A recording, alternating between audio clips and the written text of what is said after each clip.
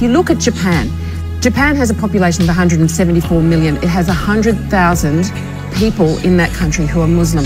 We never hear of terrorist attacks in Japan.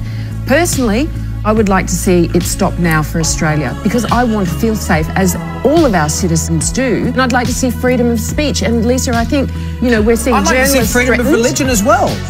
As well as freedom of speech. What- They both so go hand I'm in not hand. saying there's no freedom of religion.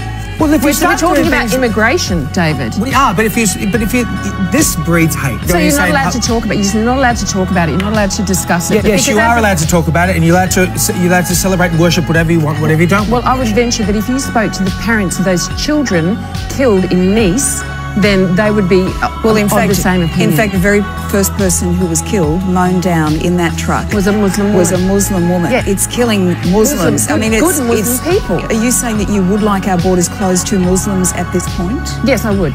I would.